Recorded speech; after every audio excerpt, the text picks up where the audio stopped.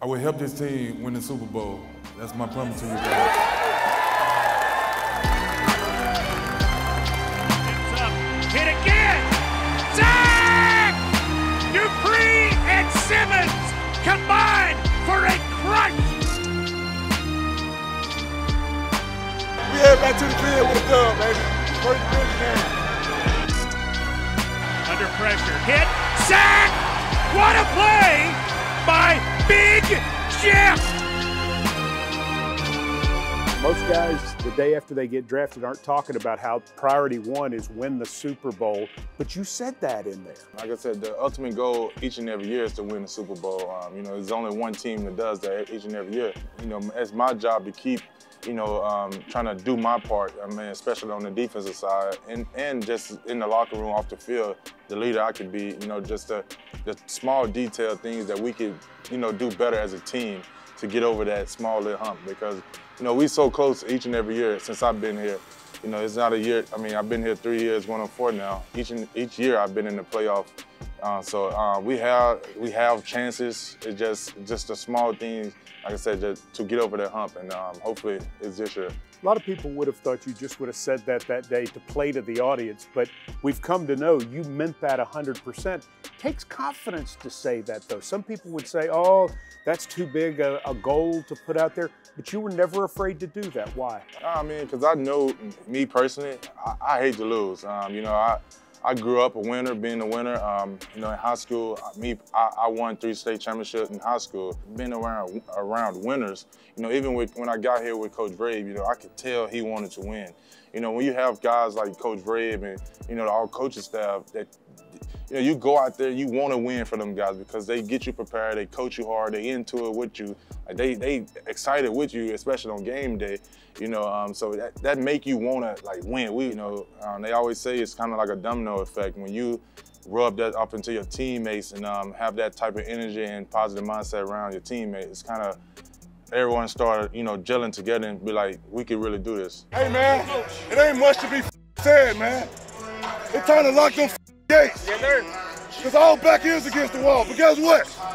We're going to play this together. We're going to be together. We're going to get this win together, man.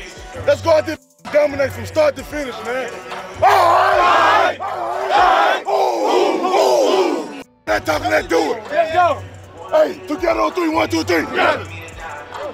One of the things I like to see most in sports is when a guy gets hot. And you think about Steph Curry playing basketball, when he starts putting up threes, you know it's going in. Did it feel that way for you, getting hot in that Rams game last year when you started sacking the quarterback? Like every time you rushed the passer. When I hit that field, you know, I just felt like we was gonna gel together as a team. You know, and, and, like I said, it wasn't just me. You know, I, like some one. I remember one of the sacks that I got. Denico had a great rush on the other guard and made Stafford set, uh, step up in the pocket, and I got the sack. So um, of course, like you know, I had three sacks, but you know, to be honest, all the props go to the guys around me. Even on the um, the, the pick David got in the end zone, like when I had him wrapped up, he threw it. It's just all we ran the game. All three of us um, guys who ran the game was on the same page. So if it wasn't for them guys, man, I wouldn't, you know, be able to get them to be able to rush, you know, with the one-on-one when I pulled the guy um, to um, the quarterback. You know, just by Denico winning his rushes, so happened he got the slide, and I was able to get a one-on-one. So I, I would say just us up front, the four uh, working together on Sundays is make it easier for each and every one of us. What is it like when you feel like there is nobody in the world that can stop you? I feel like that every time I step on the field, honestly. I mean, my my, my mindset, I, I just want to be dominant. I want to take the field with a uh, mentality that, you know, I want to scare people. You know, I want to scare people that when I take the field, like they be like, okay, he coming to play today. And um, it's not one of them guys, I don't want to be one of them guys like he going to take a playoff. They know, you know, because you watch film you see, all right, this guy taking the playoff. They know when he coming, they know he going to take a playoff. I want every time that offensive lineman look over, you know, I want him to think like he coming. I have to bring my best each and every snap. Every year you've played in the league, you've gotten better.